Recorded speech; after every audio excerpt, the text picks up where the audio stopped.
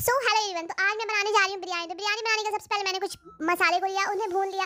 भूनने के बाद फिर हमने तेल गरम किया। तेल में प्याज डाला। प्याज को थोड़ी देर ब्राउन होने छोड़ दिया और एक तरफ़ चावल को फुला कर रख दिया। उसके बाद एक पानी लिया, एक देखिए, पानी में मैंने कुछ कुछ मसाले, जैसे प्याज पत्ता, तेल, ये सब सब कुछ डाल के थोड़ी देर छिपा दिया। उसके बाद हमने देखा कि इधर प्याज हमारा हो गया था ब्राउन तो उसमें डाल दिया हमने जिंजर और गार्लिक का पेस्ट।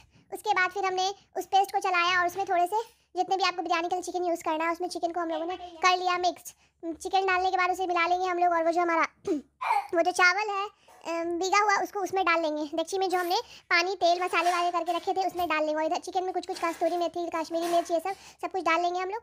डालने के बाद नमक वमक सब कुछ और उसमें चावल डाल देंगे. डालने के बाद फिर हम ये कट करके रखा गार्निशिंग के लिए टमाटर और धनिया पत्ती. उसके बाद कुछ आलू को हम लोग तल लेंगे बिकॉज़ हमको आलू पसंद है, इसलिए मैंने आलू लिया. और यहाँ पे हमारा चावल हो गया तैयार.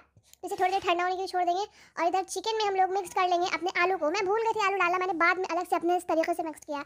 मिक्स करने के बाद दोनों को चला लेंगे, उसके बाद यहाँ पे आ गई हम लोग की बिरयानी को सजाने की बारी। सबसे पहले घी लेके एक बड़े से देगची में लगा लेंगे, उसमें फिर पहले हम लोग अपना मसाला डालेंगे, गोश्त जो भी है वो डालेंगे। वो डालने के बाद फिर एक लेयर चावल की चढ़ाएँगे। एक लेयर गोश्त, एक लेयर चावल। फिर उसको थोड़ा सा जो भी है बिरयानी डाल के टमाटर, प्याज डाल के गार्निश कर लेंगे। फिर उसके बाद उस पर से एक लेयर चिकन की, फिर उसके ऊपर से एक लेयर चावल की, ऐसे करते करते जितना भी हमारा चावल और बिरयानी का गोश्त है, जो भी वो हम लोग पूरा सेट कर लेंगे।